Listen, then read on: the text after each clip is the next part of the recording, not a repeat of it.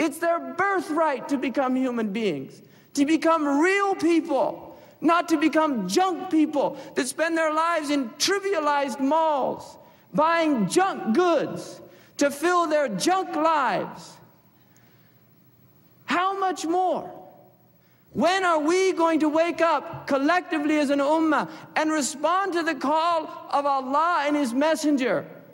يا أيها الذين آمنوا استجيبوا لله وللرسول إذا دعاكم لما يحييكم When will we answer that call? When will we respond to the call of Allah and His Messenger to something that will bring us to life?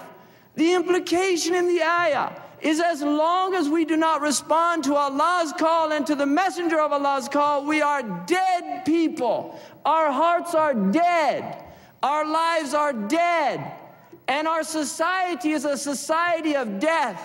It's a society that celebrates the death of the spirit in giving life, in giving life to the lowest pursuits of humanity.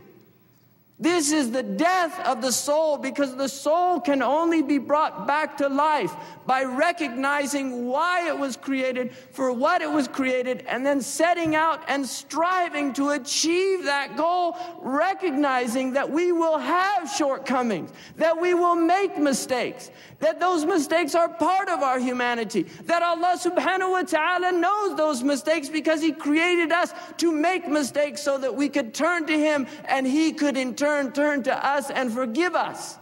And this is why we were created. We were created to respond to our ubudiyah to Allah subhanahu wa ta'ala. And the only way that a slave feels its ubudiyah, its servanthood to Allah subhanahu wa ta'ala is in its abject nature.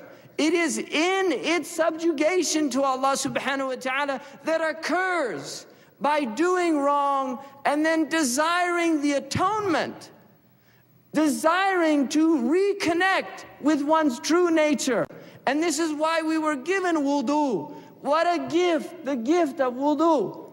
What a gift, the gift of purifying ourselves. What a gift is the gift of prayer, to pray to Allah subhanahu wa ta'ala. What a gift to be able to give munajat. In a recent article in one of these magazines, they mentioned the fact that more Americans are playing than ever before, adults playing children's games, from bungee jumping to flying in their uh, these machines that they make to jump off mountains and all of these things. This is what they're doing with their lives. With the preciousness of life. One time you have, one short life you have to do something, to do something great, to be great people. One short span. Why are they doing all these things? They say to relieve the stress of their lives. Just to taste for one instant, to have an adrenaline rush, to feel alive. That's all they're trying to do. And by jumping off a bridge with rubber strings and seeing a cement sidewalk heading right for it, suddenly he feels for one moment that he's actually alive. And he wants to repeat that experience because he wants to feel alive. But that is not the life that the human being was created for. It's not through adrenaline rushes. It's not through the rush of heroin penetrating your, your, your brain. It's not through the rush of cocaine snorted. It's not through the rush of jumping out of an airplane skydiving.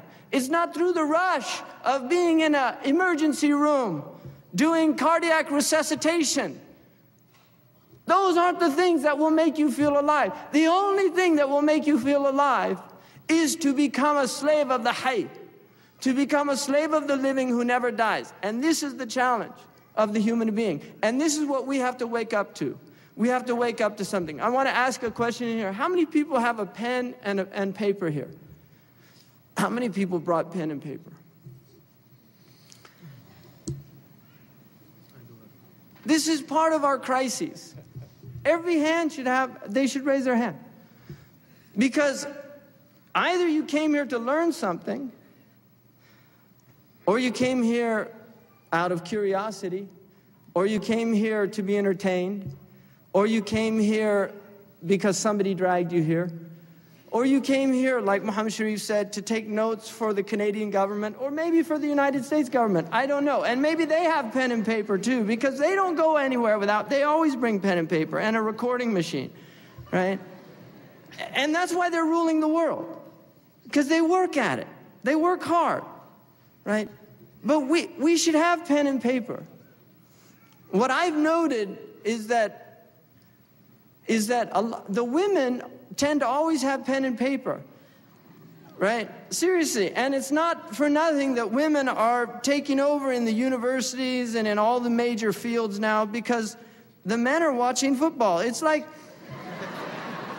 it's what somebody said, seriously, somebody said about the fiasco in Washington, right? And that's a very good example of, of what's part of the crises. But really, Islam looks at, at, uh, at, at peccadillos as really it's the least of, of the problems. In fact, the Republican Party in the United States is, is really, uh, they, they're contributing more to the destruction, to the moral destruction of the United States because they serve corporate interests completely and wholeheartedly. And it is the corporation that is destroying families and communities more than any other single factor in the United States, really. And so they are, they're hypocrites, right? They're hypocrites, and they deserve people like whatever that pornographer's name is who's exposing as many of them as he can, because they are hypocrites.